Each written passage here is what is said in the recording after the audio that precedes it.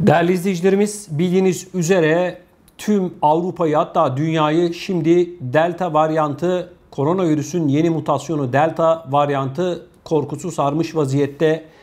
Almanya'da kafalar çok ama çok karışık. Özellikle turizmcilerden son dakika açıklamaları üst üste geliyor. Çünkü Almanya eğer delta varyantına karşı ciddi bir önlem alma yoluna giderse Türkiye'den dönüşlerde 14 günlük karantinayı hayata geçirebilir. Evet pek çok turizmci bunun maalesef turizm sektörünün bitmesi anlamına geleceğini, milyonlarca vatandaşımızın çok ciddi anlamda mağduriyet yaşayacağını ifade ediyor. Evet Almanya Meclisi'nde, Federal Meclisi'nde bu konu şu anda konuşuluyor. Dönüşlerde karantina olacak mı, olmayacak mı? Eğer böyle bir karar çıkarsa maalesef Türkiye'ye gidecek olan yüz binlerce, milyonlarca vatandaşımızın büyük bir sıkıntı yaşayacağı açık bir şekilde ortada. Değerli izleyicilerimiz bu arada Almanya Portekiz'i yüksek riskli ülke ilan etti ve Portekiz'de tatil amacıyla bulunan seyahat eden tüm vatandaşlarına derhal Portekiz'i terk edin açıklaması yaptı. Şimdi bakalım hemen detaylarına. Almanya'da seyahat konusunda tedirginliği ve kararsızlığı da bu karar iyice arttırdı. Portekiz'den Almanya'ya dönenler iki doz aşılarını yaptırmış veya negatif testli bile olsalar 14 gün karantinada kalacak. Federal Meclis'in onayı olmadan yeni seyahat kısıtlamaları getirebiliyor ve gerekli görülen durumlarda ülkeye giriş koşullarında değişiklik yapabiliyor. Ülkede bazı eyaletlerin başbakanları Covid-19 vaka sayılarının tekrar yükselmesini önlemek için sıkılaştırma çağrısında bulunsa da diğer eyaletlerin pek çoğu artık yeter diyor değerli izleyicilerimiz. Almanya Ekonomi ve Enerji Bakanı Peter Altmaier ve Almanya hükümetinin turizm sorumlusu Thomas Bryce ile dün bir araya gelen Alman turizm sektörünün temsilcileri salgın nedeniyle yaşanan krizin seyahat sektöründe henüz sona ermediğini vurgulayarak siyasetçilerden seyahat konusunda güvenilir olmalarını talep etti. Yine aynı şekilde değerli izleyicilerimiz Almanya'da turizmciler çok ciddi sıkıntı içerisinde. Türkiye'deki turizmciler de çok ciddi sıkıntı içerisinde. Çünkü alınan bu her tedbir bilin ki binlerce kişinin ekmeğini kazanamaması anlamına geliyor. Ha şunu da söylemek istiyorum arkadaşlar. Yani artık bu delta varyantı denilen virüsün mutasyona uğramış hali dördüncü dalganın tam kendisi. Birileri üçüncü dalga bitti falan diyorlar. Tamam bitti. Dördüncü dalga. E al sana dördüncü dalga. Hani geliyor ya falan gerek yok işte bu. Dördüncü dalga. Şimdi bakın değerli izleyicilerimiz turizmden bahsetmişken şu konuda altını izninizle çizmek istiyorum. Şimdi ben turizmle ilgili özellikle Avrupa'da yaşayan vatandaşlarımızın bu yıl Türkiye'ye gitmeleri halinde ne kadar paralar ödeyeceklerine şöyle bir göz attım. Uçak paralarından tutun, işte gecelik otel fiyatları, bu bazı vatandaşlarımız biliyorsunuz e, müstakil villalar kiralıyorlar. Onların fiyatlarına baktık. Şimdi uçak fiyatları bir kişinin gidiş dönüş neredeyse en az 500 euroya gelmiş vaziyette. En düşük rakamları söylüyorum. Bakın 5 euro. 500 euro. Konaklama ücretlerine baktık arkadaşlar. Bodrum, Marmaris, Fethiye, Antalya gibi çok sayıda Avrupa'da yaşayan vatandaşımızın tercih etmiş olduğu bu turistik yerlere baktığımızda bir haftalık eli ayağı düzgün otellerin kişi başı neredeyse 15 bin lira olduğunu görüyoruz arkadaşlar. Şimdi turizmciler bir taraftan ağlıyorlar. Diyorlar ki koronavirüs nedeniyle biz iş yapamıyoruz. Büyük bir sıkıntının içerisindeyiz diyorlar. Ama gelin görün ki arkadaşlar fiyatlar almış başını gidiyor. Müstakil ev fiyatları arkadaşlar şu anda zaten koronavirüs nedeniyle Türkiye'nin içinden de pek çok insan bu turistik noktalara akın ettiği için ve Avrupa'dan da bu müstakil villalara, evlere büyük bir rağbet olduğu için şu anda müstakil ev bulabilmek mucize. Buldunuz diyelim. Arkadaşlar haftalık geçen yıl 2 ya da 3 bin lira olan bir villa şu anda 20 bin lira. Yani ev sahiplerinin de tekeri patlamış kamyon gibi yokuş aşağı gittiğini görüyoruz. Daha doğrusu yokuş yukarı gittiğini görüyoruz. Otellerin de yokuş yukarı gittiğini görüyoruz. Uçakların da yokuş yukarı gittiğini görüyoruz. Geçen yıl yapamadıkları işleri sanıyorum bu işlerin acısını bu yıl Türkiye'ye gidecek olan gurbetçi, yurt dışında yaşayan, başta Avrupalı Türkler olmak üzere yurt dışında yaşayanlardan çıkartacaklar. Zaten belli. Niyet ettim Allah rızası için bu yıl otelime, evime, uçağıma kim gelirse ben onu komaya sokacağım diye yani bunun niyetine girmişler turizmciler. Belli. Ev sahipleri de buna uyuyorlar. Kiralık ev zaten yok. Olsa da olsa da arkadaşlar şaşırmışlar. Böyle bir fiyat yok. Kardeşim turizmciler ağlıyor. Biz ne dedik? Ben aylarca şunu söyledim. Sakın ola ki Yunanistan'a gitmeyin dedim değil mi? Niye? Bizim vatandaşımız bu parayı kazansın. Bizim turizmcimiz bu parayı kazansın. Kardeşim şimdi öyle bir fiyat yapmışsınız ki Yunanistan neredeyse ucuz kalacak. Yine pahalı Yunanistan ama Yunanistan'la yarışıyorsunuz. 1 euro 10 lira olmuş. Ona rağmen Avrupa'da yaşayan vatandaşlar diyor ki acaba ben Yunanistan'a, İtalya'ya, Fransa'ya mı gitsem diyor. Akdeniz ülkelerinden bahsediyorum. İspanya'ya mı gitsem diyor. Kardeşim bu noktaya turizmciler getirdi. Ben hayatımda Türk esnafı kadar fırsatçı bir esnaf, ticaret insanı görmedim. Bayram gelir fiyatlar artar, korona olur fiyatlar artar. Kardeşim ne oldu? Ne oldu da bu fiyatları arttırıyorsun sen? Hani ben mi bir şey bilmiyorum? Yurt dışından mı geliyor o yani otelde çalışanlar? O vatandaşa, müşteriye vermiş olduğunuz yemekler yurt dışından mı geliyor? Yani ne oluyor kardeşim? Tamam euro 10 euro fiyatlar arttı o oldu bu oldu da. Ne oldu kardeşim ne oldu ne oldu?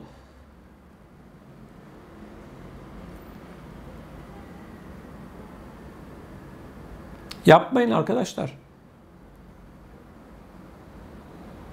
Yani tamam Avrupa'da yaşayan ya da diğer ülkelerde yaşayan vatandaşlarımız Türkiye'ye gitmek istiyor. Bunda bir sorun yok. Gidecek tabii ki. Ama kardeşim bu insanlar parayı havadan mı topluyor sanıyorsunuz? Her biri sabahın köründe karanlıkta gider. iş yerine canı çıkana kadar çalışır.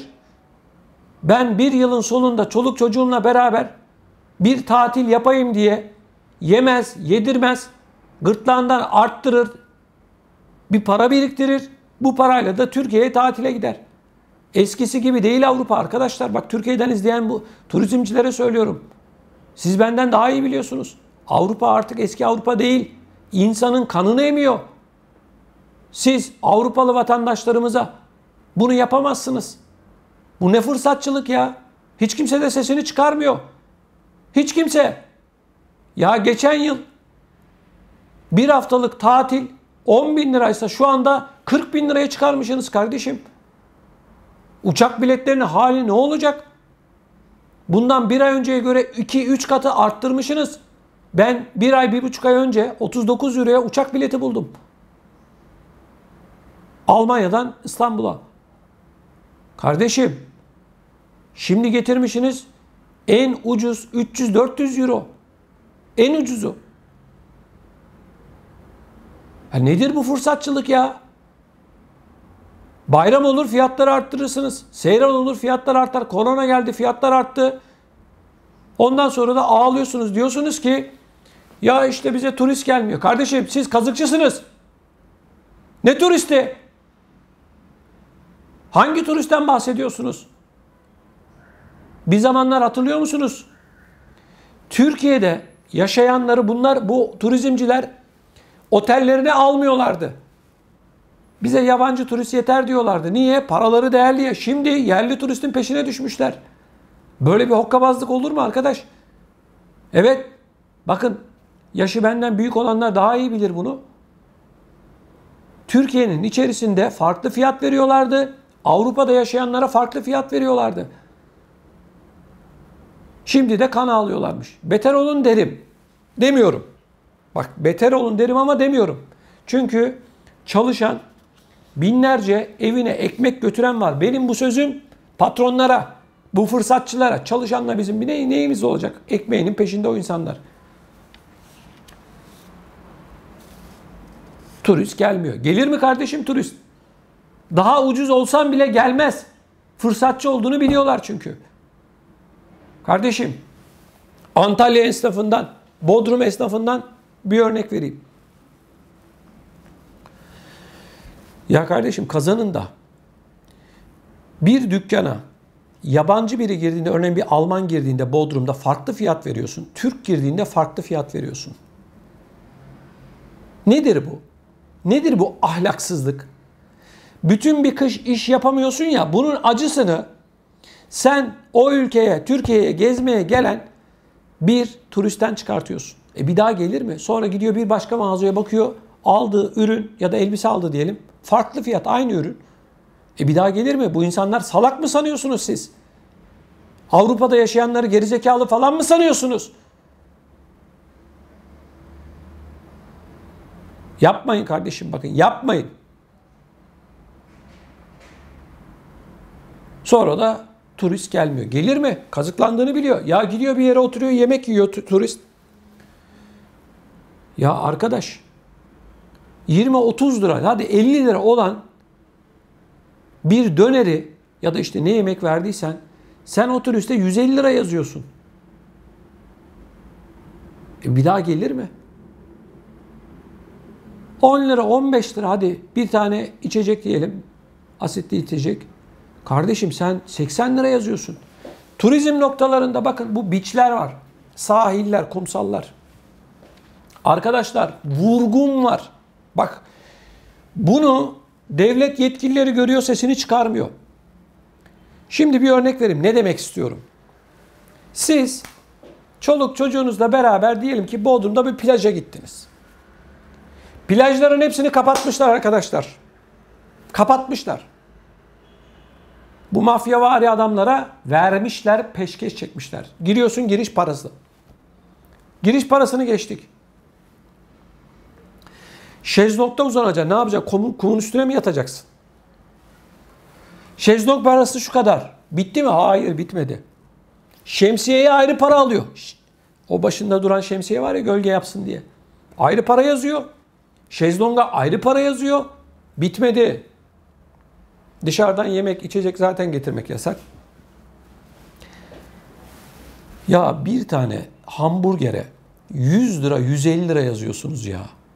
Allah sizi daha beter etsin bak. 100 lira 150 lira olur mu?